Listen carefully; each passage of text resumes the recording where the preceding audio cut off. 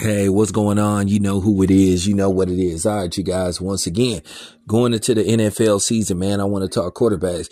And one quarterback in particular is one, Josh Allen, going into year six. The pressure is mounting on Josh Allen to get to the Super Bowl and win. Buffalo has been all so close, but yet so far. You know, one thing about Josh Allen, like him or not, he does provide highlight reels because the dude is an awesome quarterback and he is the type of quarterback you will tune in to watch play, but he is a bit of a gambler on the football field. Sometimes he will make a bonehead, ill advised throw that can pretty much take Buffalo out of the game. But the thing is with him, he has all the tools and the talent to get to the Super Bowl and win.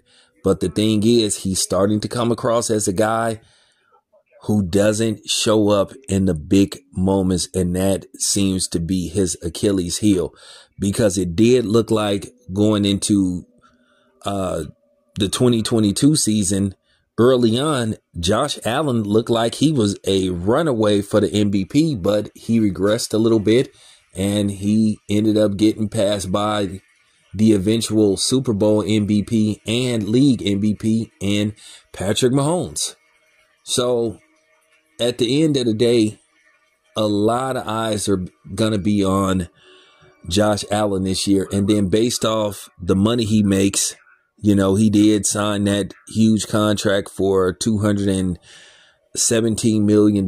He signed the extension. So, like I said, the goal for him is to get Buffalo to the Super Bowl and win it all.